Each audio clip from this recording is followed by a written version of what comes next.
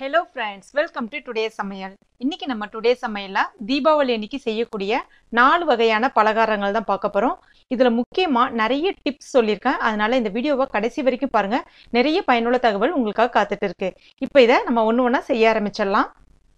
முதல்ல நல்ல வெள்ளையான முறுமுறு முறுக்கு வீட்டிலே அரிசி மாவு ரெடி பண்ணி எப்படி தயாரிக்கலாம் அப்படின்னு தான் பார்க்க போகிறோம் நான் இன்னைக்கு ஒரு கிலோ அளவுக்கு தான் வந்து மாவு செஞ்சு காட்ட போகிறேன் இது வந்து சரியாக பார்த்தீங்கன்னா எழுபத்தைந்துலேருந்து எண்பது முறுக்கு வரைக்கும் வரும். நான் இன்றைக்கி இந்த கப்பால் மூணு கப் அளவுக்கு பச்சரிசி எடுத்திருக்கேன். கரெக்டாக ஒரு கிலோ அளவு உங்களுக்கு பச்சரிசி. இது வந்து நீங்கள் கடைகளில் வாங்கும்போது சாப்பாட்டு அரிசின்னு கேட்கக்கூடாது மாவு அரிசின்னு சொல்லி கேட்டு வாங்கணும்.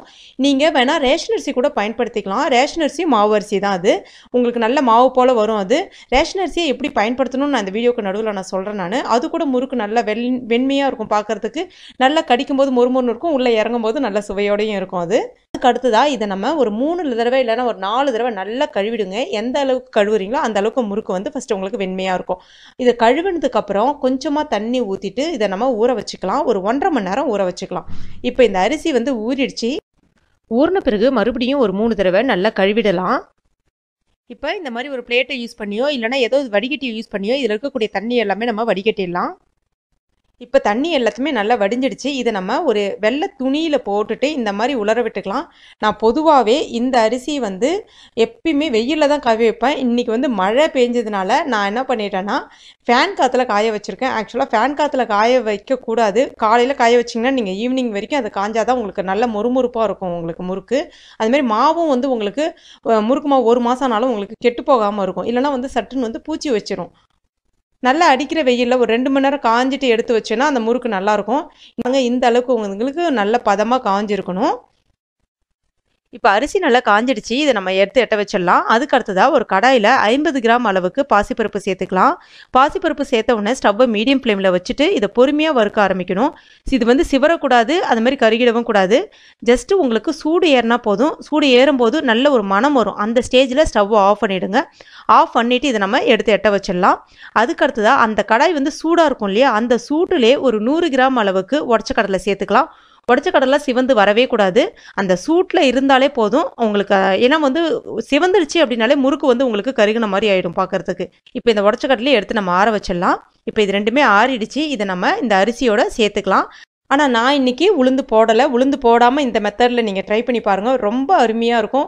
ஏன்னா உளுந்து போட்டோன்னா உங்களுக்கு பட்டுன்னு வந்து சிவரும். ஆனால் இந்த மாதிரி பண்ணிங்கன்னா உங்களுக்கு சிவந்து வரவே வராது. முறுக்கு நல்ல வெண்மையாக இருக்கும். பார்க்கவும் ருசியாக இருக்கும். இப்போ நம்ம ஏற்கனவே ரெடி பண்ணி வச்சுருக்கோம் அந்த இதையும் சேர்த்துட்டோம் இல்லையா? இப்போ இதை நான் மிஷினில் கொடுத்து மொத்தமாக சேர்த்து தான் அரைக்க போகிறேன் இப்போ இதை நான் அரைச்சி எடுத்துகிட்டு வந்து வச்சுட்டேன். அதுமாதிரி அரைக்கும் போது கொஞ்சம் கவனிக்க வேண்டிய விஷயம் என்னென்னு பார்த்தீங்கன்னா அங்கே ஏற்கனவே பச்சரிசியோ இல்லைன்னா முறுக்கு மாவோ ஏற்கனவே யாரோ அரைச்சிருந்தாங்கன்னா அதுக்கப்புறம் நீங்கள் வந்து மிக்ஸ் மிஷினில் கொடுத்து அரைங்க. ஏன்னா அதுக்கு முன்னாடி கோதுமை மாவு இல்லைன்னா கேழ்வரகு அந்த மாதிரி வந்து அரைச்சிருந்தாங்கன்னா நீங்கள் அதுக்கப்புறம் இதை போட்டிங்கன்னா உங்களுடைய முறுக்கு மாவு வந்து கெட்டு போயிடும்.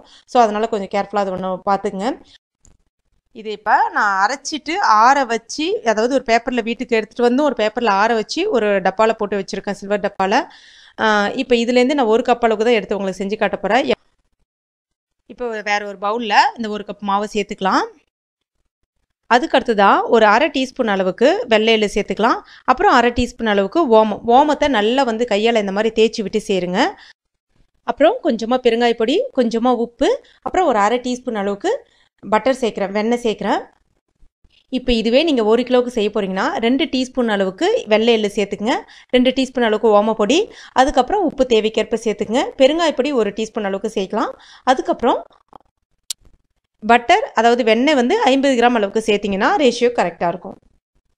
இப்போ இது எல்லாத்தையுமே தண்ணி விடாமல் ஃபஸ்ட்டு நல்லா கலந்து விட்டுக்கலாம். கலந்து விட்டுட்டு மாவு உங்களுக்கு நல்லா கொஞ்சம் இந்த மாதிரி வந்து உதிர்ந்த மாதிரி இருக்கணும். அதுக்கப்புறம் கொஞ்சம் கொஞ்சமாக தண்ணி சேர்த்துங்க. தண்ணி நான் ஒரு கப் மாவுக்கு எவ்வளோ தண்ணி சேர்க்குறேன் பாருங்கள் கரெக்டாக உங்களுக்கு முக்கால் கப்புக்கும் கொஞ்சம் குறைவாக இருக்கும். அவ்வளோதான் சேர்த்துட்டு நல்லா பிசைஞ்சு விட்டுடலாம். பிசைஞ்சு விட்டு பிறகு பார்த்தீங்கன்னா உங்களுக்கு இந்த பதத்துக்கு இருக்கணும் மாவு. இப்போ அடுத்ததாக நான் வந்து இந்த குழல் அதாவது முறுக்கு குழல் இருக்கு இல்லையா அதுதான் நான் பயன்படுத்த போகிறேன் இப்போ கொஞ்சமாக எடுத்து போட்டுட்டு நம்ம பிழிய ஆரம்பிச்சிடலாம். நான் நேரடியாக தான் எண்ணெய் சட்டியில் விடுவேன். உங்களுக்காக இன்றைக்கி நான் வந்து இந்த பிளேட்டில் கொஞ்சமாக எண்ணெய் தடவிட்டு நான் இதில் விட்டு காட்டுறேன். இந்த மாதிரி விட்டுட்டு நம்ம ஸ்ட்ரெயிட்டாக எண்ணெய் சட்டியில் போட்டுடலாம். இல்லைனா வந்து நம்ம கரண்டியில் கூட போட்டுட்டும் போடலாம். இல்லைனா ஸ்ட்ரெயிட்டாகவும் விடுறதா இருந்தாலும் விடலாம். அது அவங்கவுங்க சௌரியம் அது. இந்த முறுக்கு வேகிறதுக்கு பார்த்தீங்கன்னா உங்களுக்கு கரெக்டாக ரெண்டு நிமிஷம் தான் எடுத்துக்கும். மீடியம் ஃப்ளேமில் வச்சு வேக விடுங்க. ஒரு மூணு மூணு முறுக்கா போட்டு எடுங்க. நான் ஏற்கனவே சொன்ன மாதிரி ரேஷன் அரிசி பயன்படுத்துனீங்க அப்படின்னா ரேஷன் அரிசியை நல்லா ஒரு ஏழு தடவை எட்டு தடவை நல்லா கழுவுங்க. அதுக்கப்புறம் ஒரு ஒன்றரை மணி நேரம் ரெண்டு மணி நேரம் ஊற வைங்க. மறுபடியும் ஊறினதுக்கப்புறம் ஒரு அஞ்சு நாலு அஞ்சாறு தடவை கழுவுங்க. கழுவினதுக்கப்புறம் நீங்கள் காய வச்சு எப்பயும் போல் இந்த மாதிரி பண்ணுங்கள் சூப்பராக அருமையாக இருக்கும். இப்போ நம்முடைய சூப்பரான வெள்ளையான முறுக்கு ரொம்ப அருமையாக ரெடி ஆயிடுச்சு. அதுக்கு அடுத்ததாக எல்லாருக்குமே ரொம்ப பிடிச்சமான அதிரசம். அதிரசம் எப்படி செய்யலாம்னு பார்க்கலாம். இப்போ காலையில் டைம் வந்து ஏழு மணி ஆகுது. நான் இன்னைக்கு ஒரு கப் அளவுக்கு பச்சரிசி எடுத்திருக்கேன். பச்சரிசி மாவு பச்சரிசின்னு கேட்டு வாங்கிக்கங்க. நீங்கள் வந்து ரேஷன் அரிசி கூட உங்ககிட்ட இருந்துச்சுன்னா அதை பயன்படுத்திக்கலாம். அது கூட அதிரசம் வந்து ரொம்ப சுவையாக வரும் உதிராமல் வரும். ஆனால் ரேஷன் அரிசி பயன்படுத்தினீங்கன்னா எக்ஸ்ட்ரா ஒரு மூணு தடவை கழுவிக்குங்க. இப்போ இதில் கொஞ்சமாக தண்ணி சேர்த்துட்டு ஒரு மூணு தடவை நல்லா கழுவிடுங்க. அதுக்கப்புறம் கொஞ்சமாக தண்ணி சேர்த்துட்டு ஒரு மணி நேரம் இதை நம்ம ஊற வச்சிடலாம். இப்போ ஒரு மணி நேரம் ஆயிடுச்சு. மறுபடியும் இதை நம்ம ரெண்டு தடவை கழுவிடலாம். அதுக்கப்புறம் இதில் இருக்கக்கூடிய தண்ணியை நம்ம வடிகட்டிடலாம். வடிகட்டிட்டு இந்த மாதிரி ஒரு ஃபில்டர் நான் யூஸ் பண்ணியிருக்கேன். இதில் வந்து ஒரு பத்து நிமிஷம் வச்சிங்கன்னா போதும். அந்த தண்ணி எல்லாமே உங்களுக்கு நல்லா வடிஞ்சிரும். அதுக்கப்புறம் இந்த மாதிரி ஒரு வெள்ளை காட்டன் துணி இல்லைன்னா டவல் வச்சுக்கோங்க. அதில் இந்த அரிசியை வந்து இந்த மாதிரி நல்லா பரப்பி விட்டுடுங்க. ஃபேன் காற்றுல ஒரு பத்துலேருந்து பதினஞ்சு நிமிஷம் வச்சா போதும். அதுக்கு மேலே வைக்க வேணாம். ஏன்னா அரிசி வந்து கொஞ்சம் ஈர அரிசியாக தான் இருக்கணும். உங்களுடைய கை வந்து காஞ்சிருக்கணும். அரிசியை நல்லா தொட்டு பார்க்கும்போது அரிசி வந்து நம்மளுடைய கையில் வந்து இந்த மாதிரி ஒட்டணும். இந்த மாதிரி ஒட்டுச்சுன்னா உங்களுக்கு அரிசி வந்து கரெக்டான பதத்தில் இருக்குன்னு அர்த்தம். ஏன்னா அதிரச மாவு மட்டும் என்றைக்குமே வந்து ஈரமாவாக இருக்கணும். அப்போ தான் அதிரசம் எண்ணெயில் எண்ணெய் சட்டியில் போடும்போது உங்களுக்கு பிரியாமல் வரும். இப்போ இது கரெக்டான பதத்தில் இருக்குது இதை நம்ம இப்போ மிக்சி ஜாரில் சேர்த்துக்கலாம். சேர்த்துட்டு நல்லா உங்களுக்கு நைஸான பவுடராக அரைச்சிக்கிங்க. அரைச்சிட்டு இந்த மாதிரி ஒரு சல்லடையை யூஸ் பண்ணி நான் சலிச்சிக்கிறேன். உங்ககிட்ட வேறு எந்த மாதிரி சல்லடை இருந்தால் கூட நீங்கள் பயன்படுத்திக்கலாம். நான் இன்றைக்கி மாவு சலிக்கிற சல்லடை தான் பயன்படுத்துகிறேன் அந்த மாதிரி ஈரமாவு சட்டுன்னு போய் இறங்காது. இந்த மாதிரி கையால் வந்து நல்லா சலிச்சு விடுங்க. மிச்சம் மறுபடியும் நொய் மாவு வரும். அந்த நொய்யை மறுபடியும் மிக்சியில் போட்டுட்டு மறுபடியும் பவுடர் பண்ணி மறுபடியும் சலிச்சிக்கங்க இதே மாதிரி. இப்போ எல்லாமே சலிச்சது போக கடைசியாக ஒரு ரெண்டு டீஸ்பூன் அளவுக்கு தான் நொய் மீறுற மாதிரி பார்த்துங்க ரொம்ப அதிகமாக மீந்து போகிற மாதிரி நீங்கள் எடுத்து எட்ட வச்சிட்டிங்க அப்படின்னா உங்களுக்கு வெள்ளம் வந்து ஜாஸ்தியாக போன மாதிரி ஆகிடும் அதனால் இதை மட்டும் கொஞ்சம் கவனமாக பார்த்துக்குங்க. இந்த நொய்யை நம்ம வேஸ்ட் பண்ண வேணாம். ரவை உப்புமா செய்யும் போதோ இல்லைனா வந்து இட்லி மாவு அரைக்கும் போது கூட நம்ம சேர்த்து அரைச்சிக்கலாம். இப்போ அடுத்ததாக ஒரு பேனில் முக்கால் கப் அளவுக்கு வெல்லம் சேர்க்குறேன் ஒரு கப் அரிசிக்கு முக்கால் கப் வெல்லம் வந்து போதுமான அளவு. நான் இன்னைக்கு பாகு வெல்லம் தான் சேர்க்குறேன். பாகு வெல்லம் தான் என்றைக்குமே வந்து அதிர்சத்துக்கு செம சூப்பராக இருக்கும். இதில் கால் கப் அளவுக்கு தண்ணி சேர்த்துக்கலாம்.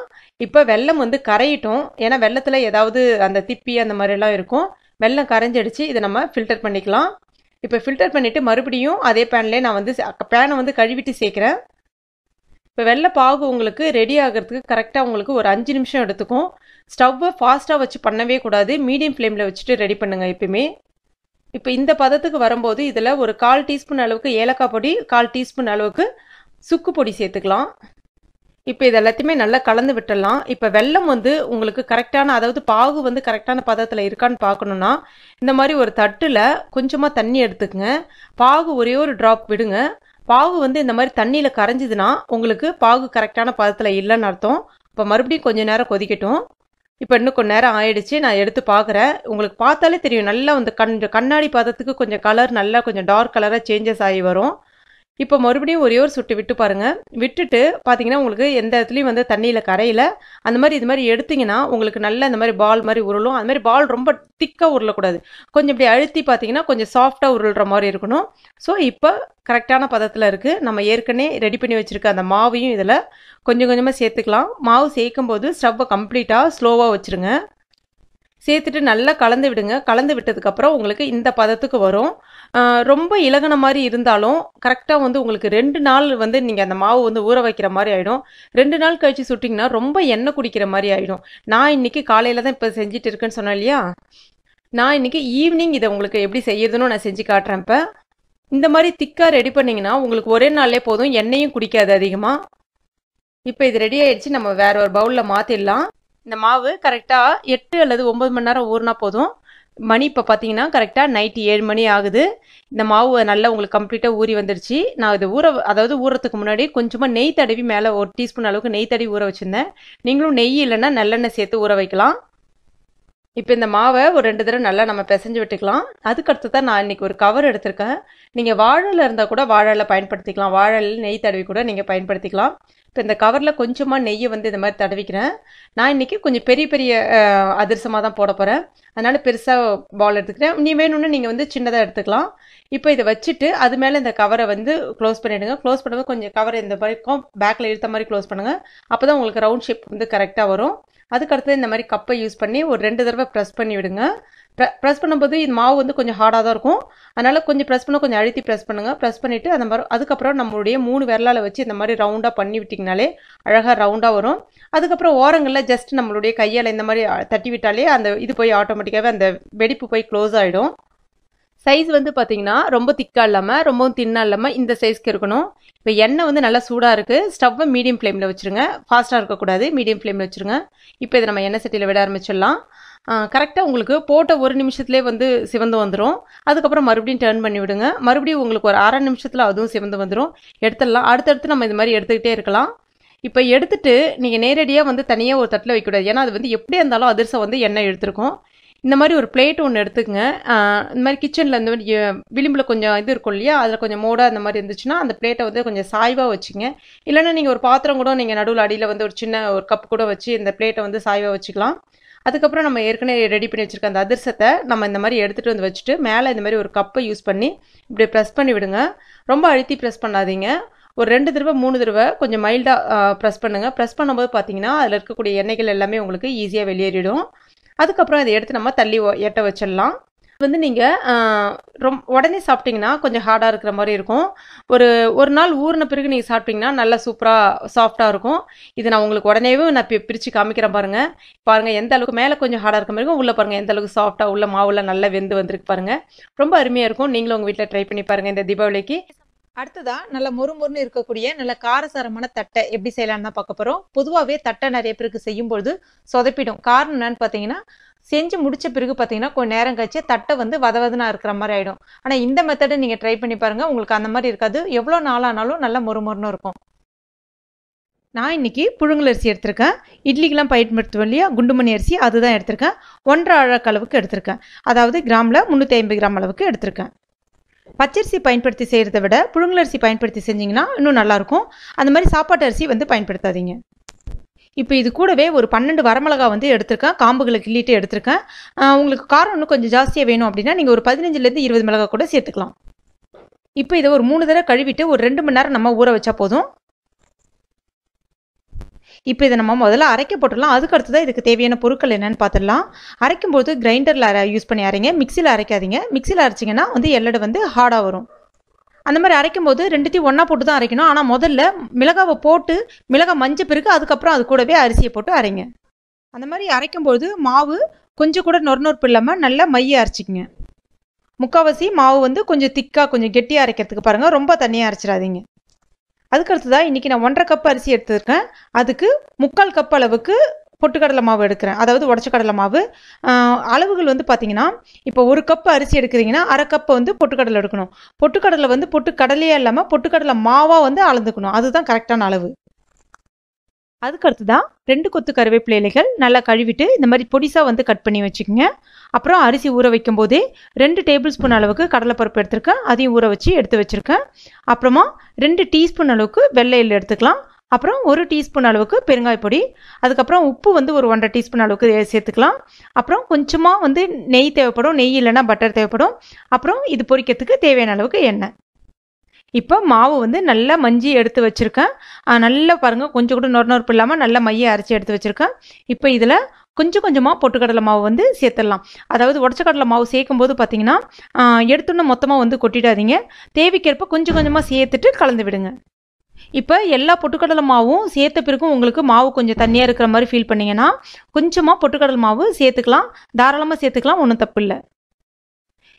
எப்பயுமே பொட்டுக்கடலை மாவு அந்த அரிசி மாவோட சட்டுன்னு வந்து கலந்து வராது. அதனால் நல்லா வந்து பிசைங்க. பிசைஞ்சால் தான் ஒன்றோட ஒன்று நல்லா மிங்கிளாகி வரும். அப் அதுக்கப்புறமா நம்ம இதில் வந்து மற்ற பொருட்கள் வந்து ஒன்று ஒன்றா சேர்த்துக்கலாம். உப்பு வந்து கரெக்டாக ஒரு ஒன்றரை டீஸ்பூன் அளவுக்கு போட்டாலே போதும். சரியாக இருக்கும். இப்போ மாவு இந்த பதத்துக்கு நம்ம ரெடி பண்ணியாச்சு. அடுத்ததாக இது கூட வெண்ணெய் எடுத்திருக்கேன். வெண்ணெய் வந்து ஒரு டீஸ்பூன் எடுத்திருக்கேன். கொஞ்சமாக அப்போ தான் வந்து ஸ்டவ்வில் வந்து சூடு காட்டி எடுத்திருக்கேன். கொஞ்சம் வெது வெதுப்பாக இருக்குது நீங்கள் வெண்ணெய் இல்லைன்னா நீங்கள் நெய் கூட சேர்த்துக்கலாம். நெய்க்கு பதிலாக நீங்கள் ஒரு டீஸ்பூன் அளவுக்கு எண்ணெய் கூட சேர்த்துக்கலாம். ஏ ஏன்னா அந்த டேஸ்ட் வந்து உங்களுக்கு கொஞ்சம் நல்லாயிருக்கும் இப்போ இதையும் இது கூட சேர்த்துட்டு நல்லா நம்ம கலந்து விட்டுடலாம். இப்போ மாவு பதம் பார்த்தீங்கன்னா கையில் நீங்கள் உருண்டை பிடிச்சி பார்க்கும்போது கையில் ஒட்டக்கூடாது. கரெக்டாக வந்து பார்த்தீங்கன்னா முறுக்கு மாவு பதத்துக்கு இருக்கணும். இதுதான் வந்து மாவோட பதம். அடுத்ததாக நம்ம இந்த மாதிரி சின்ன சின்ன உருண்டைகளாக வந்து ஒரு பத்து பத்து உருண்டைகளாக பிடிச்சி வச்சுக்கிட்டோன்னா நமக்கு வந்து போட்டு எடுக்கிறதுக்கு ரொம்ப சௌரியமாக இருக்கும். இன்னொன்று உருண்டைகள் பிடிக்கும்போது ரொம்ப சின்ன உருண்டைகளாக பிடிங்க. பெரிய உருண்டைகளாக பிடிச்சிங்க அப்படின்னா உங்களுக்கு தட்டும் போது ரொம்ப திக்காயிடும். அப்போ வந்து தட்டை போடுறதுக்கு நல்லா இருக்காது. தட்டை சாப்பிட்றதுக்கும் நல்லா இருக்காது. அடுத்ததாக நான் இன்றைக்கி பிளாஸ்டிக் கவர் வந்து பருப்பு கவர் தான் என்கிட்ட இருக்குது அதை வச்சு தான் பயன்படுத்தி பண்ண போகிறேன் உங்ககிட்ட பெரிய லாங் ஷீட் பெரிய பிளாஸ்டிக் கவர் இருந்துச்சுன்னா நான் சொல்கிற மெத்தடை நீங்கள் அப்படியே ஃபாலோ பண்ணிக்கோங்க. இப்போ இந்த கவரை கட் பண்ணிவிட்டு உள்பகுதியை நான் பயன்படுத்துகிறேன் உள்பகுதியில் கொஞ்சமாக ஃபஸ்ட்டு எண்ணெய் தடவிக்கிறேன். அதுக்கு தான் ஒரே ஒரு இதை மட்டும் எடுத்து ஒரே ஒரு உருண்டை மட்டும் எடுத்து வச்சுட்டு அதுக்கப்புறம் மேலே வந்து இன்னொரு கவர் வைக்க போகிறோம் அதில் அந்த கவர்லேயும் உள்பக்கமாக எண்ணெய் தடவிட்டு அந்த கவரை இந்த மாதிரி வச்சுக்கணும்.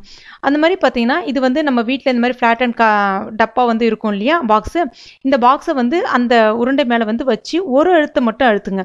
அதாவது நிறைய அழுத்தாதீங்க. ஒரு அழுத்தை அழுத்திட்டு அதுக்கப்புறமா நம்முடைய மூணு விரல் நடுவிரல் ஆள்காட்டி விரல் மோதிர விரல் மூணு விரல் இருக்குல்ல அந்த மூணு விரலை உள்பக்கமாக நடுப்பக்கமாக வச்சுட்டு கரெக்டாக வந்து ஒரு மூணு சுற்று சுற்றுங்க இந்த மாதிரி ஒரு மூணு சுற்று சுற்றினாலே போதும். அழகாக மெலுசாக ரொம்ப அருமையாக ரெடி ஆகிடும் ரொம்ப சுலபமாக முடிஞ்சிடும். இப்போ நான் இதை செஞ்சுட்டு இருக்கும்போதே சைடில் வந்து எண்ணெயும் வந்து காஞ்சிட்டு இருக்கு. எண்ணெய் வந்து ரொம்ப சூடாக இருக்கக்கூடாது. மீடியம் ஃப்ளேமில் இருக்கணும். அது மாதிரி மீடியம் ஹாட் மிதமான சூட்டில் தான் இருக்கணும். ரொம்ப சூடாக இருந்துச்சுன்னா பட்டுன்னு உடைந்து தீஞ்சு போயிடும். உள்ளே வந்து மாவு வேகாமல் போயிடும். அதுவும் நல்லா இருக்காது. இப்போ நான் ஒன்று ஒன்றா செஞ்சுக்கிட்டே இருக்கேன். சைடில் வந்து ஒன்று ஒன்றா வந்து போட்டுக்கிட்டே இருக்கேன். இது பார்த்தீங்கன்னா உங்களுக்கு ஒரு அரை மணி நேரத்தில் சட்டுன்னு வேலை முடிஞ்சிடும் இந்த மாவுக்கு பார்த்தீங்கன்னா உங்களுக்கு ஒரு எழுபது எல்லடை கிட்ட வரும் கரெக்டாக இது வேகிறதுக்கு பார்த்தீங்கன்னா கரெக்டாக உங்களுக்கு ஒரு ஈடு வேகிறதுக்கு மூணு நிமிஷம் எடுத்துக்கும். அவ்வளோதான் டைம் பார்த்தீங்கன்னா இப்போ பாருங்கள் சைட் பை நான் வந்து போட்டுக்கிட்டே இருக்கேன் சைட் பை செஞ்சுக்கிட்டே இருக்கேன். ஸோ இப்போ சுலபமாக வேலை முடிஞ்சிடுச்சு எல்லடையும் நல்லா அழகாக பொறிஞ்சு வருது பாருங்கள் அவ்வளோதான் நீண்ட நாளைக்கு நல்ல மொறுமொறுன்னு சுவையாக இருக்கக்கூடிய அருமையான தட்டை ரொம்ப சுலபமாக ரெடி ஆயிடுச்சு. அதுக்கடுத்ததா எல்லாருக்குமே குழந்தைகள்லேருந்து பெரியவர்கள் வரைக்கும் எல்லாருக்குமே ரொம்ப பிடிச்சமான ரவா லட்டு. எப்படி செய்யலாம்னு பார்க்கலாம். சுவையான மிருதுவான ரவா லட்டு. முப்பது நாள் ஆனாலும் கெட்டு போகாமல் எப்படி வச்சிருந்து சாப்பிட்லாம் அப்படின்ற டிப்ஸோடு தான் முக்கியமாக பார்க்க போகிறோம் அது மட்டும் இல்லாமல் இன்றைக்கி நம்ம இதை ரெண்டு முறையில் செய்ய போகிறோம் இதை இப்போ எப்படி செய்யறது நம்ம பார்க்க ஆரம்பிச்சிடலாம். முதல்ல அதுக்கு ஒரு பேனில் ரெண்டு டேபிள் ஸ்பூன் அளவுக்கு நெய் சேர்த்துக்கலாம். நெய் உருகி வந்த பிறகு அடுத்ததாக உடச்சி விட்ட முந்திரி பருப்பு ஒரு பதினஞ்சு சேர்த்துக்கலாம். கூடவே காஞ்ச திராட்சை ஒரு பதினஞ்சு சேர்த்துக்கலாம். இப்போ காஞ்ச திராட்சை நல்லா உப்பி வரட்டும். முந்திரி பருப்பு நல்லா சிவந்து வரட்டும். இப்போ முந்திரி பருப்பு நல்லா சிவந்து வந்துடுச்சு இதில் இப்போ ஒரு கப் அளவுக்கு ரவை சேர்த்துக்கிறேன். ரவை வந்து பார்த்தீங்கன்னா அந்த பாம்பே ரவைன்னு சொல்லுவாங்க குட்டி குட்டியாக இருக்கும் பாருங்கள் அந்த ரவை பயன்படுத்தினீங்கன்னா உங்களுக்கு ரவா லட்டு செய்யும் போது பார்த்தீங்கன்னா பிடிக்கிறதுக்கு நல்லா வசதியாகவும் இருக்கும். நீங்கள் மிக்சிலெலாம் அடிக்கணும் அப்படின்ற அவசியம் கிடையாது. சப்போஸ் இந்த ரவை உங்களுக்கு கிடைக்கல அப்படின்னா பெரிய பெரிய ரவையாக இருக்கும் பாருங்கள் அந்த ரவை தான் கிடைக்குதுன்னா மிக்சியில் ஒரு சுற்று சுற்றிட்டு அதுக்கப்புறம் வந்து சேர்த்துக்குங்க. இப்போ நிறைய பிராண்டில் இந்த மாதிரி ரவை கிடைக்குது. உதாரணத்துக்கு சொல்ல போனால் ஆஷிர்வாத் நாகாவில் பார்த்தீங்கன்னா டபுள் ரோஸ்டட் ரவானே கிடைக்குது. அதை பயன்படுத்திக்கங்க. இப்போ இதை மிதமான தீயில் வச்சுட்டு வறுக்க ஆரம்பிச்சிடலாம்.